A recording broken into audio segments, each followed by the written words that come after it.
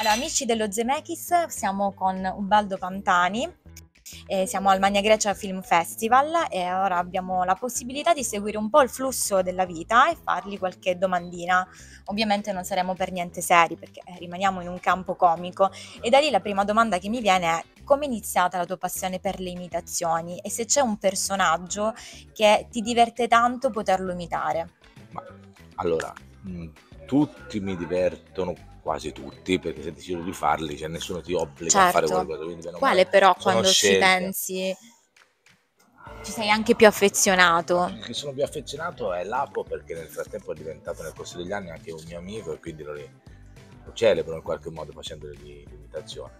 E è iniziato senza una ragione specifica, nel senso non è che io da piccolo vedevo i programmi televisivi il sabato sera televisivo e dicevo ah il mil sogno è fare lo showman nel comico, no, è qualcosa di assolutamente ancestrale, strano, eh, strano, che poi in realtà è, è comune a molti bambini, quello di imitare. Sì, quello si di imitare e osservare impara, cosa sta intorno, Si no? apprende per imitazione, io mi ritrovavo a fare in camera mia le imitazioni di, que- di Gigi Sabani, che era un imitatore degli anni 80, io rifacevo le sue, perché non lo so. Eh, così per, per passione, poi sono stato travolto da- dal calcio, la passione per il calcio, quindi ho accantonato quest'arte per un po', per poi riprenderla negli anni successivi. Una voglia un po' di osservare la realtà, Sì, insomma. sì, sì. Penso che sia anche un momento di cambiamento per te, perché al di là delle maschere, trucco e parrucco dei tuoi personaggi, hai voglia di fare uno show tutto tuo?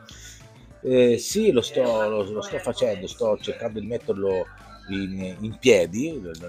Ho debuttato con uno spettacolo teatrale in cui racconto la mia storia di come sia legato al territorio in cui sono cresciuto. Qui si parla molto di territorio questo, eh, questo festival, di, di quanto le radici siano importanti. Io racconto il mio percorso che ha delle radici eh, molto profonde e la mia storia, il mio percorso si lega a quello del sale, del salgemma che è il, diciamo, la, la materia prima del, mio, del, mio- del luogo in cui sono cresciuto, quindi Toscana, all'interno della Toscana, quel lembo di terra dell'Alta Maremma, insomma, e c'è la mia storia che si lega alla, alla Solvè. alla Anche lì Solvè. si mangia molto bene. Anche eh? lì si mangia molto bene, il sale è un elemento eh, diciamo che, che- che non manca, eh, che sia appunto lì e serve per la lavorazione di- della soda e, di- e insomma c'è tutta una storia legata al mio rapporto con questo villaggio operaio della Solvè dove sono cresciuto. Quindi questo per fare un link con il territorio. Giusto, facciamo anche un po' di promozione sempre- corretta. C'è sempre il C'è territorio. c'è sempre, sempre il territorio. sempre. Volevo chiederti, ma eh, parlando un po' in generale di padre Patrick, Sì. ok, Sì. iniziavo il tono un po' più serio, almeno ci ho Sì, provato a cambiare sì. un po' la versione. Non mi sto confessando, giuro non ho bisogno di uno psicologo. Ah, Almeno in questo tu dicessi, momento- confessarmi. Tutti abbiamo Tutti bisogno. abbiamo bisogno di confessarci, in questo momento non dello psicologo, però Sì. perché so che dobbiamo Sono due differenziare campi due campi differenti, quindi non vorrei appunto essere, insomma, girare un po' intorno. Ti volevo chiedere com'è stata questa esperienza con eh, Romantiche nel ruolo appunto di padre Patrick? S- mi, sono, mi sono divertito ovviamente perché comunque chi da bambino non ha sognato tutte le volte che è stato in qualche modo costretto ad andare in chiesa. Chi non A ripetere l'atto di dolore, Eh, ti dimenticavi una parola, avevi l'ansia da prestazione proprio. chi non ha mai sognato di essere dall'altra parte. Io ci sono due cose in cui mi sono mai- sempre vergognato in vita mia, sono stato una volta quando ho 12 anni ho fatto una sfilata di moda.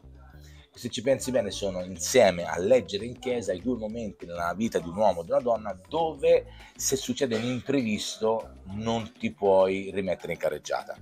Cioè tu sei di fronte a Mattarella, ti cade un foglio, una mezza battuta la puoi fare. Però se, fai, se sei sulla passerella e cadi, non è che dici vabbè comunque è finita. È In finita. chiesa lo stesso, dalle lettere di San Paolo Apostolo ai Paristeco, non ci, non ci leggi. E leggere in chiesa è una delle cose che non c'ha una via di uscita. Se Vero? ci pensi Sì, bene, sì. se succede qualcosa non la puoi buttare in caciara, non ti salvi mai. Quindi Non ti salvi mai. del- de- de- della formalità per eccellenza. A me è Quindi- successo da testimone, non so Eh. come ho mantenuto la calma, è andato tutto bene con le giuste pause e ricordiamoci anche che mio cugino non mi aveva detto prima cosa dovevo leggere, quindi avevo tipo le goccioline e qui dico porca miseria, Poi c'è sempre un'ansia assurda. in chiesa, comunque sono già passate due ore e i sandali già ti sbuccichi qua, ci Il caldo. male, il caldo, e quindi... E non puoi respirare che tutti stanno in silenzio e ti sentono. Però lui che celebra, il lui di turno, il sacerdote, loro sanno e un po' se la godono, no? Assolutamente.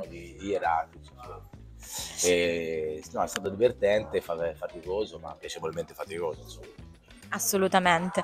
Ti va di fare un saluto per i nostri amici dalla allo Zemeckis, che è un programma di Radio Chuck. Dalla, dall'A allo Zemeckis. Zemeckis, tutte le lettere ci sono tutte dentro e io vi saluto anche con una P di Pantani per dire dovresti scegliere o la U di Ubaldo che è Certo. proprio particolare ma cosa dire.